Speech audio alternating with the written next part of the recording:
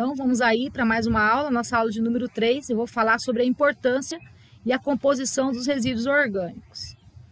O conteúdo que eu vou trabalhar na aula hoje vai ser a importância dos resíduos orgânicos. Eu vou falar sobre a matéria orgânica no solo. Vou apresentar bastante informação técnica a respeito de concentração de nutrientes, composição dos fertilizantes e dos resíduos, caracterização e composição desses nutrientes mais utilizados, né, dos resíduos orgânicos mais utilizados. E vou falar também a respeito da utilização de fertilizantes orgânicos na agricultura. Vários, vários materiais orgânicos podem ser utilizados como fertilizante. Os estercos de animais, os resíduos de culturas, os adubos verdes, estes constituem aí as principais fontes de adubos orgânicos disponíveis. Mas também nós temos o lodo de esgoto, composto de lixo, alguns resíduos das agroindústrias, como vimos inclusive na aula anterior, também podem ser empregados como fonte de nutriente para as plantas, desde que a aplicação no solo seja feita de acordo com a norma vigente, né? Desde que vise a preservação e a qualidade do solo e dos mananciais hídricos. Enfim, o que são adubos orgânicos? É o uso de resíduos orgânicos de diferentes origens, conforme a gente já andou conversando um pouquinho, é, sobre o solo. Essa é a definição principal do adubo orgânico.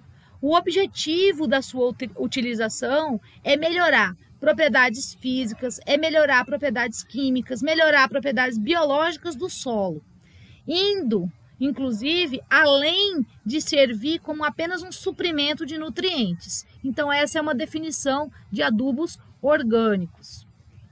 De uma forma geral, né, os principais grupos de adubos orgânicos são origem animal, a gente vai ter aí os estercos de bovino, de aves, de suínos e outros animais. Os adubos é, de origem vegetal, temos nesse grupo, inclusive, os adubos verdes e coberturas mortas, tá? Os, a, os resíduos urbanos, então nós temos vários resíduos sólidos, né? E também outros resíduos como lodo que podem também serem reutilizados, reaproveitados. Os resíduos industriais, incluindo aí as cinzas e, e outros. Os compostos orgânicos, Aí a gente tem a ajuda de macro-organismos que fazem os vermicompostos. Nós podemos também fazer biofertilizantes. Os biofertilizantes, inclusive, podem ser enriquecidos ou não. Os adubos orgânicos comerciais também fazem parte desse grupo. E entre os componentes estão as grandes quantidades de carbono, mas também estão o nitrogênio, o fósforo, o potássio, cálcio, magnésio e micronutrientes. E qual a diferença então, prof, entre adubos químicos e fertilizantes orgânicos? Bom, diferente de adubos de síntese química que já estão disponíveis à planta logo após a aplicação sobre o solo, os adubos orgânicos, eles precisam ser disponibilizados de uma forma mais gradual, lenta. Os fertilizantes orgânicos, eles vão passar por um processo de digestão, por um processo de mineralização, com a ajuda de bactérias, fungos, actinomicetos, protozoários, algas, além de insetos e larvas. E essa intensa digestão essa intensa, esse intenso processo de mineralização acaba liberando o NPK, o cálcio, o magnésio e deixa a forma orgânica imobilizada para a forma de nutrientes mineralizados, ou seja, é disponível para a planta. Então, essa é a principal diferença entre os adubos químicos e os fertilizantes orgânicos. Os adubos orgânicos, então, eles vão passar por um processo muito importante que é a mineralização. Parte dos nutrientes que estão lá na forma orgânica devem ser mineralizados para que se tornem disponível às plantas. Então, esse, inclusive, é um ponto de argumentação muito forte ao orientar o agricultor a não usar o adubo orgânico sem estar curtido, né, de maneira crua, sem passar por esse processo. Esse processo ocorre através de uma transformação enzimática microbiológica, que vai promover a liberação dos nutrientes e a disponibilidade para as plantas. E isso aí que é a chave na hora de escolher o momento da aplicação, pois a disponibilidade mais gradual, né, ela tem que ser planejada previamente, porque senão você não vai ter a quantidade de nutriente de acordo com a exigência da planta. A origem dos materiais também influencia no processo. Então, por exemplo, materiais mais ricos em nitrogênio têm uma rápida decomposição, com a liberação da amônia, por exemplo. Já materiais menos ricos em nitrogênio decompõem mais lentamente, então libera pouco nitrogênio e no final gera uma porção maior de humus, por exemplo. A mineralização dos fertilizantes orgânicos, basicamente, então é isso: o processo de transformação da matéria orgânica numa substância inorgânica. Ele é muito influenciado pelo suprimento de oxigênio e pelas próprias características do material orgânico, né, que se deseja é, transformar. Também pelas condições ambientais às quais eles são submetidos. Então, aqui, né, a gente tem é, uma demonstração mais sistemática de como ocorre. A gente vai ter aí é, o, o, adubo, né, a forma pro, em forma proteica, que vai sofrer a primeira transformação, que é ser transformado em partículas menores, que são os aminoácidos. A gente pode chamar isso de aminização. Depois, eles vão sofrer é, atividades microbiológicas e vão se transformar, né, e, em amônio ou nitrato, né, nitrito, e isso sofre uma grande influência do clima e do manejo. Então, a gente vai entender um pouco melhor isso ao longo do processo dos nossos estudos. Tá? É só uma representação. A mineralização, esse processo é influenciado também pela relação carbono-nitrogênio. E o que é essa relação CN, tão falada, né? O carbono e o nitrogênio, eles são extremamente importantes para a decomposição dos fertilizantes orgânicos. Dependendo do valor da relação entre carbono e nitrogênio, a eficiência desse processo de mineralização muda. Isso porque uma relação carbono-nitrogênio muito alta diminui a velocidade do crescimento da microbiota do solo, ou seja, aqueles microorganismos que vão fazer o processo de transformação já que não será possível degradar todo o carbono presente porque falta nitrogênio. Então vamos lá. Isso nos dá um índice que chama índice de eficiência dos, dos, dos nutrientes. Os adubos orgânicos, sólidos e líquidos, eles vão apresentar concentrações e taxas de liberação de nutrientes muito variável. E isso afeta a disponibilidade para a planta. Em geral, esterco sólido e resíduo orgânico com alto teor de fibra e lignina apresentam uma maior relação carbono-nitrogênio e menores quantidades de nutrientes na forma mineral. E são decompostos mais lentamente no solo e liberam menores quantidades de nutrientes para a planta. Entretanto, eles vão favorecer o acúmulo de matéria orgânica no solo em relação aos estercos líquidos, que apresentam uma maior quantidade de nutrientes minerais prontamente disponível, que é o que a gente interessa, né? Considerando aí iguais adições de matéria seca. E qual que é a relação então carbono-nitrogênio necessária? Existem vários estudos aí que apontam que o limite para a relação da compostagem, né, que é esse processo de transformação, da matéria orgânica varia entre 20 para 1 e 35 para 1. Mas, de uma forma geral, a melhor relação carbono-nitrogênio é de 30 para 1, por ser a proporção em que os micro-organismos absorvem esses nutrientes. E o que isso significa? Né? Que precisa ser adicionado à composteira né, materiais misturados para fornecer mais ou menos 30 partes de carbono para uma parte de nitrogênio. Daí, desse modo, a reprodução consegue ser mantida, porque algumas funções metabólicas desses micro-organismos, né, além da possibilidade de ter um composto final em menos tempo, evita também o mau cheiro.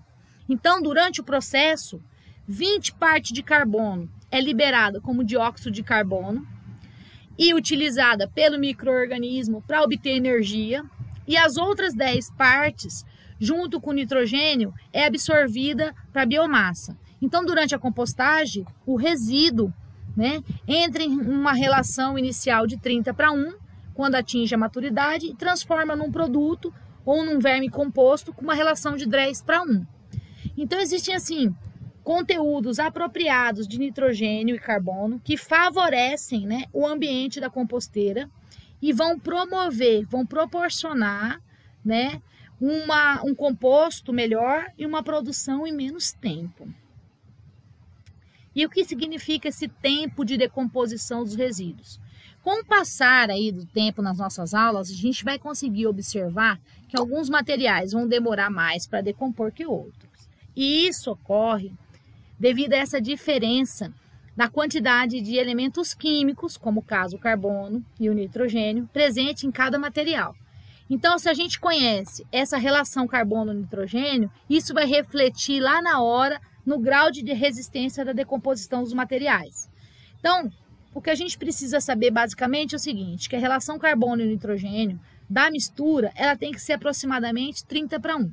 Na prática, na prática, a proporção de componentes de uma mistura, ela tem que ficar em torno aí de 70% de material fibroso, que decompõe mais lentamente, e 30% de material fresco, como esterco, por exemplo. É, essa é uma regra simples, né? É, por exemplo, a quantidade de material fibroso palha tem que ser três vezes maior que a quantidade de material líquido, por exemplo, ou de material fresco, como esterco, né? E como fica então a concentração de nutrientes em adubos orgânicos? Né? Os adubos orgânicos devem, sempre que possível, né, como eu já disse na aula anterior, volto a repetir, ser previamente analisados para a gente entender e conhecer qual é a concentração dos macronutrientes dos micronutrientes. E também conhecer o teor de água, que pode variar bastante de acordo com cada material, né? Então, tem material de origem, é, vai variar muito por conta do, da origem do material, né? Vai variar muito da espécie animal, vai variar da alimentação utilizada por esse animal, né? A proporção que existe entre os dejetos, que são as fezes mais urina, né? O material utilizado para cama, por exemplo, né? O manejo desses materiais orgânicos, então muita coisa pode alterar, né? É, e pode fazer variar a concentração dos nutrientes dentro dos adubos orgânicos. Então, eu trago aqui para vocês várias tabelas com concentrações médias de nutrientes e teor de matéria seca de alguns materiais orgânicos. O que, que acontece? Né? É, a concentração dos nutrientes normalmente é expressa no material seco a uma estufa de 65 graus. Os materiais orgânicos, mesmo aparentemente bem secos, eles ainda contêm água. E a gente precisa, às vezes, é, consultar várias tabelas, como essa, para entender é, as concentrações médias de nutriente de materiais orgânicos que temos disponíveis numa propriedade ou numa agroindústria, né? Uma coisa que eu vejo muito, né, é, estudantes que fazem TCC, por exemplo, que às vezes não conseguem ter um parâmetro, querem fazer é, testes, é, tratamentos com resíduos orgânicos e às vezes não conhece a concentração de nutrientes que eles estão depositando no solo ou que estão oferecendo para a planta ao usar aquele tratamento. Então, na verdade, essas tabelas é com esse, com esse intuito, né? Então, quando a gente fala assim, eu tenho aqui 3,5% de P2O5 numa cama de frango, né? É, após quatro lotes. O que, que acontece? Eu estou dizendo que a cada 100 quilos eu tenho 3,5 kg de é, P2O5, né? E assim por diante, 2,5 kg de K2O, né? Então essas tabelas elas nos dão esse parâmetro. A partir daí eu posso fazer cálculos e saber quanto é que eu estou utilizando de cada nutriente. Então aqui eu trouxe várias tabelas, inclusive com tabelas com informações sobre cinza, né, sobre composto é, de lixos urbanos, lodo, verme compostos, né, várias tabelas. Algumas tabelas, elas vão mostrar para nós a composição dos resíduos orgânicos, né, é, mais empregados aí como fertilizante orgânico no processo de compostagem, né? Então eu vou ter aí matéria orgânica nessas tabelas, informação da quantidade de matéria orgânica, informação da relação carbono-nitrogênio, que também para nós é interessante, né? Então aqui, ó, eu tenho é, algumas informações como é, a gente percebe que quanto mais é, de origem vegetal, é menor a relação carbono-nitrogênio, né? Então aqui, ó, por exemplo, algodão, né, tem uma relação baixa, a moreira, as folhas da mora, né? Agora, o arroz tem uma relação alta, né? os talos do cacho da banana tem uma relação carbono-nitrogênio alta, né? Então, ela decompõe mais lentamente, né? Conforme a gente vê aí que os, os estercos são de origem animal, a gente vê que diminui, ó. Esterco de galinha, uma relação de 10 para 1, né? É, esterco aí de bovino, 20 para 1. Então, a gente tem essa, essa, essa informação e podemos aí alternar na hora de fazer as pilhas ou na hora de fazer as misturas do nosso composto. Então, eu trouxe várias tabelas com essas composições, né? Para que vocês tenham em mãos depois, quando forem aí fazer o exercício aí das suas atividades. Então aqui, ó, poda de árvores, né? Folhas de árvore, serrapilheira, né? Serragem de madeira, né? Serragem de madeira, olha só, a relação carbono altíssima, né? Então a gente já percebe que a serragem de madeira, né? Ela tem uma decomposição extremamente lenta, né? Por conta que nós vamos ter muito carbono, né? E pouquíssimo nitrogênio. Então a gente não consegue desenvolver os micro-organismos de maneira adequada para essa decomposição. Algumas tabelas trazem composição dos fertilizantes e dos resíduos orgânicos de origem animal, vegetal e das agroindústrias, né? Também é bem bacana. Então a gente tem aí várias tabelas que mostram, né, o teor de umidade, né, o teor somente do carbono, a relação carbono-nitrogênio, né, os teores de cada um dos principais nutrientes, principalmente os macronutrientes. Então, eu trouxe aqui a título para a gente ter curiosidade e poder consultar numa eventual pesquisa ou aprofundamento de estudo. Bom, a gente tem que pensar que esse, esse todo esse conhecimento, né, a gente é muito importante, porque além do fornecimento de nutrientes, né, os resíduos também, dependendo da quantidade usada, vão contribuir para a agregação no solo, melhora a estrutura, melhora a aeração, melhora a drenagem e a capacidade de armazenamento de água. Então, eles são muito importantes não só pelo fato do fornecimento de nutrientes, mas também na questão de estruturação do solo. E essa melhoria da fertilidade do solo, o aumento da produtividade da cultura, não é o único benefício né, dessa reciclagem do nutriente dos estercos, dos lodos e dos resíduos agroindustriais. O solo, né, ele é considerado também uma, opção de descarte desses resíduos. Né? Então, eles precisam ser aplicados em quantidades proporcionais né, à demanda da planta e nos limites previstos na legislação. Alguns cuidados especiais precisam acontecer no uso dos resíduos orgânicos. Por quê? Devido aí à composição microbiológica dos resíduos, então a gente tem que entender que é muito importante o controle sanitário dos alimentos. E adubos orgânicos não podem ter contato direto com partes que serão comestíveis né, das plantas. Então, normalmente aquelas de consumo in natura, em especial estas.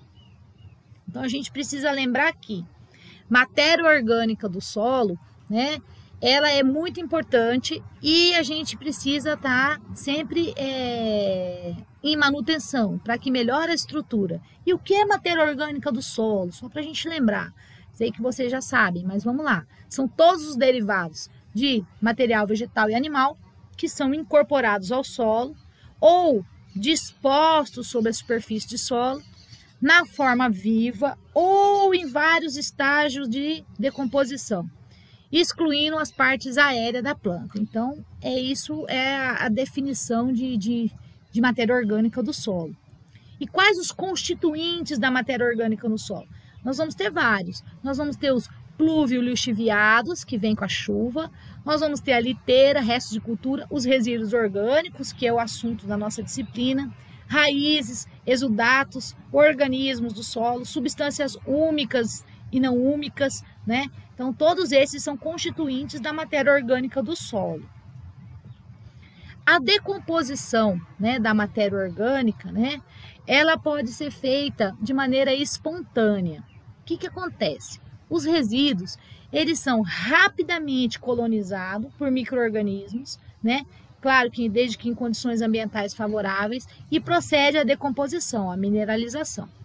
Nos solos que são suficientemente arejados, a decomposição né, evolui naturalmente através da ação dos micro-organismos organo heterotróficos, aeróbicos, de diversos grupos taxonômicos. Então, eles utilizam o oxigênio, né, através de várias reações óxido-redução, decompõem a matéria orgânica e, desse modo, a energia é, é obtida para suas funções vitais.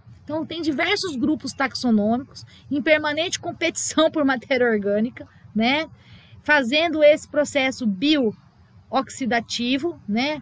E em cada sequência, né? Os que melhor se adaptam às características nutricionais, né, do substrato e aos fatores ambientais vão se prevalecendo. Então, como que acontece então a decomposição espontânea dos resíduos orgânicos, né? O processo de decomposição da matéria orgânica vai envolver três fases uma fase de degradação rápida, de decomposição rápida, uma segunda fase, que é a fase de umificação, né? E depois a matéria orgânica ela vai entrar numa fase de estabilização. Então, no processo de decomposição dos resíduos, acontece as três fases. A decomposição, né? Ela pode ser aeróbica e ela utiliza aí é, essa técnica né, de compostagem um, é resultante de estudo da evolução desse processo de decomposição, umificação da matéria orgânica, né? Visa objetivos aí é, de natureza ambiental, agronômica, né? Para criar condições na massa de resíduos que permite o pleno desenvolvimento de microorganismo responsável por essa decomposição aeróbica, né? controlando aí fatores nutricionais, ambientais, de maneira que a gente consiga assegurar aí condições de vida adequada para os micro-organismos. Então a gente pode assim retirar que a técnica de compostagem, né, essa técnica de misturar produtos com diferentes relações carbono-nitrogênio, né, ela consiste na degradação, na umificação controlada dos resíduos orgânicos por via aeróbica. Então, a compostagem, ela é aeróbica, né? É uma técnica para utilizar é, resíduos que permita aí trazer para nós, né, é, alguns objetivos de natureza agronômica, ou seja, nutrir plantas. Bom, e a constituição das substâncias úmicas, né? Esse mecanismo de formação de substâncias úmicas, infelizmente, ainda é pouco compreendido né? E tem sido apresentado aí várias teorias para descrever. Mas, de acordo com a teoria aí que tem mais aceitação, né? A lignina, que parcialmente decomposta, né? E os polifenóis têm uma presença relativa e depende da natureza dos resíduos e vão ser os principais precursores dos compostos úmicos. Além da lignina, além dos polifenóis, né, dos compostos nitrogenados, outros compostos provenientes dessa decomposição de resíduos ou sintetizados pelos micro-organismos, como lipídio, polissacarídeos, ácidos poliurônicos, ácidos é, nucleicos, peptídicos, enfim.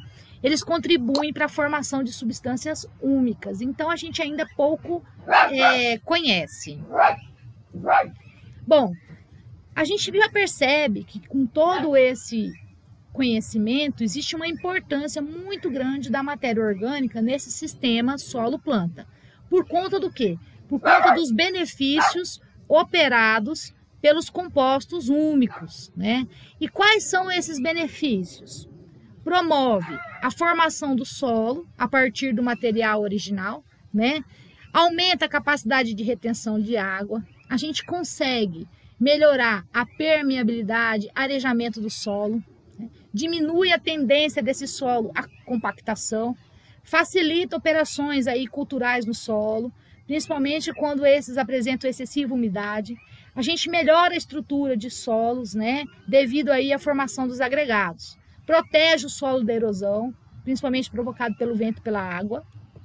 A gente consegue promover um, um, um, maior aquecimento do solo, né, permitindo antecipação de colheita, principalmente em lugares onde regiões são mais frias. Né. No decorrer da mineralização, a gente transporta nutriente para o solo, né? Obviamente, falamos disso o tempo todo hoje. Aumenta a capacidade de troca catiônica do solo, né? Então, é, nutrientes ficam disponibilizando gradualmente ao longo do ciclo vegetativo da cultura, e aí a gente consegue reduzir a perda por lixiviação. A gente consegue é, limitar, né, é, a insolubilização e o deslocamento de nutrientes promove a sua disponibilidade. A gente aumenta o poder tamponizante do solo, né? Defendendo aí de aplicações excessivas de adubos e produtos fitossanitários, né? A gente consegue ter um, é, devido à forte capacidade de absorção dos cátions, proteger a planta de toxicidade, né, por materiais pesados, pelo excesso de sais absorve e promove aí também a degradação de produtos tóxicos e pesticidas, né? Então, a matéria orgânica ela tem uma grande importância, reduzindo inclusive esse perigo de contaminação de água, potencia o efeito benéfico e a utilização racional de adubo, de operações culturais adequadas, né? É, constitui um suporte energético, nutritivo, benéfico, diversificado, com população microbiana, que estimula todo esse ecossistema do solo, promovendo umificação, mineralização, defendendo a planta de doença provocada por micro-organismos patógenos de nematóide do solo, promove direto e indiretamente a absorção de nutrientes pela planta, ativando o crescimento, né? aumenta a resistência da planta aos períodos de seca, né? Então a gente tem é, vários é, motivos para incentivar o uso de resíduos orgânicos e para incentivar o agricultor a transformar a matéria orgânica, a disponibilizar nutrientes, né, de maneira orgânica para as plantas, né? A gente é, percebe que tem algumas questões que são causas e efeitos de empobrecimento dos solos em matéria orgânica. E o que, que faz acontecer isso? Né? Na totalidade dos solos agrícolas são várias questões. Aplicação aí intensiva de fertilizante químico em detrimento do orgânico, né? Não existe uma, uma, uma, uma um equilíbrio nisso. É, o abandono de prática aí que vai restituir a matéria orgânica do solo, infelizmente. A realização de lavouras profundas, né? O crescente recurso é, à irrigação, intensificação da monocultura. Então, isso cria um ciclo. O solo fica pobre em matéria orgânica, a fertilização química começa a é, ficar crescida, ter uma necessidade cada vez maior, modificações metabólicas e alterações aí na composição da seiva da planta, acontece um maior ataque de parasitas, aí a gente precisa fazer um tratamento mais numeroso e intenso, né? Fragiliza todo o sistema e vários aí é, acidentes culturais acontecem, né? Como diminui a qualidade alimentar dos produtos, eles têm menos tempo de prateleira, têm menor rendimento, né? Por conta desse sistema intensivo, né? Muitas vezes com muito investimento, mas é, relativamente ao, ao fator de produção e não é, em relação à qualidade. A utilização dos fertilizantes orgânicos na agricultura, né, ela é muito importante porque você consegue é, utilizar resíduos e corretivos, né? melhora as características dos fertilizantes, você consegue é, ter características de solo, né? Que vai receber esse, esses fertilizantes, melhora essas condições, necessidades nutritivas da cultura são atendidas, né? Mas muitas vezes para isso a gente precisa fazer um cálculo das doses de aplicação. Então aqui eu deixei um link, né? Inclusive eu deixei aqui nos slides, mas esse link também está disponível no Google Class, para que vocês possam assistir essa melhor explicação sobre como fazer um cálculo das doses de aplicação, para caso aqueles que tenham interesse. Então, a gente precisa aí ter boas medidas e práticas de utilização agrícola dos fertilizantes orgânicos, né? Então a gente tem que conhecer como fazer. É, quando os fertilizantes são utilizados em terrenos aí de exploração pecuária, né? É, a gente consegue aí é, determinações indispensáveis para o cálculo. Então, alguns teores aí de matéria seca, teores de matéria orgânica, né, teores de nitrogênio, de fósforo, expressos, né, respectivamente, entre nitrogênio, P2O5 e K2O, podem ser utilizados para esses cálculos. Tá? É, para se prevenir né, de uma excessiva aplicação de fertilizantes, é, inclusive dos orgânicos, né, a gente precisa conhecer as quantidades de nutrientes existentes no solo, né? E as formas disponíveis para a planta, tá?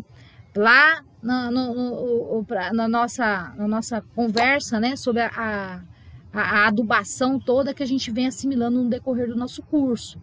Então a gente tem que ver que tem é, formas que são assimiláveis, né? Os macronutrientes, a matéria orgânica. A gente tem que levar em consideração a condutividade elétrica, salinidade, o pH, para correção da acidez, né? Outros macronutrientes como cálcio, por exemplo, micronutrientes viáveis, né, também podem ter situações de carência e aí a gente precisa é, poder, através de fertilizantes orgânicos, fornecer para a planta. Então tem vários parâmetros químicos e físicos associados à fertilidade do solo, como essa capacidade de troca catiônica, textura do solo, a questão da umidade do solo, elementos aí que são tóxicos, que vêm desses resíduos, materiais pesados, né? A gente também tem que levar todas essas considerações aí na hora de saber aplicar. Em relação às condições de solo, a gente tem que levar em conta aí, particularmente, que algumas questões restringem a aplicação de fertilizantes orgânicos. Bom, quando o terreno se localiza perto de zonas protegidas, quando os terrenos se encontram em situações com declive muito acentuado, quando os terrenos se localizam próximo de cursos de água nascente, é, lugares aí com poço, né? É, nas proximidades aí de núcleos populacionais, então tudo isso tem que ser levado em consideração. Outra questão é a necessidade nutritiva das culturas, né? Então, para a gente é, atingir essa elevada eficiência do uso dos nutrientes, né, as fertilizações elas têm que ser acompanhadas de práticas adequadas, né, irrigação adequada, né, épocas e tecnologias de aplicação adequada, levar em consideração aí a dinâmica desses nutrientes no solo, disponibilidade é, ao longo do ciclo vegetativo da planta, né? Então esses fertilizantes normalmente é, apresenta uma composição com nitrogênio, fósforo e potássio, né, desequilibrada em face aí às necessidades da cultura. Então, a sua aplicação às vezes tem que ser complementada com um recurso de adubos minerais. Para o cálculo de aplicação, né, existem é, várias é, sugestões, mas o principal passo é o seguinte: através da análise, né, dos fertilizantes que se deseja aplicar. A gente determina a quantidade de nitrogênio, de fósforo e de potássio. Depois, né, a gente consegue determinar os teores de nitrogênio, de nutrientes no solo, prever o mais realisticamente possível as produções que a gente quer atingir com a cultura que a gente deseja implantar. Aí a gente estima através da consulta de tabelas apropriadas, que são essas aí uma das que eu passei para vocês, as quantidades de nitrogênio, P2O5 e K2O que podem ser removidos do solo pela cultura, né? Estima, ainda que grosseiramente, né, esses dados disponíveis, tendo aí em consideração as características aí do solo, quantidade de nitrogênio, de fertilizante, né, que as plantas aí não podem ter em excesso, né, não pode deixar de ter o acesso. E leve em consideração aí a desnitrificação, a lixiviação ao longo do ciclo da planta. A gente também consegue estimar quantidade de nitrogênio que pode ser disponibilizada para o solo através da mineralização dessa matéria orgânica, né, da fixação desse nitrogênio pelas leguminosas, por exemplo, né? É, a gente consegue efetuar conversões necessárias para somar resultados, né, obtidos aí nas estimativas anteriores, e a partir desses resultados calcular as quantidades de fertilizante. Mas enfim, o vídeo que eu trouxe é muito melhor do que toda essa parafernália teórica, né? Então eu acho que esses cálculos das doses que vão basear aí o nutriente, né, pode ser muito mais viável, tá? Então, a gente tem vários frutos aí de natureza topográfica, edafoclimática, que vão provocar efeitos adversos aí e pode inclusive, se a gente não fizer o uso adequado do fertilizante, causar contaminação dos recursos hídricos. E o principal aí, o nutriente mais crítico é o nitrogênio, né? Então, essa relação aí do NPK no fertilizante tem que estar tá bem ajustado, equilibrado, né? Pelo que é requerido pela cultura, né? Para proceder à adubação mineral complementar, inclusive, né? Desde que não exceda quantidades aí calculadas, tá? E, o conhecimento, o agricultor pode prevenir, né? A produção, é, evitando problemas futuros. Eu trouxe para vocês uma leitura complementar sobre isso. Espero que vocês gostem e assistam o vídeo. Vamos, vamos assistir agora juntos.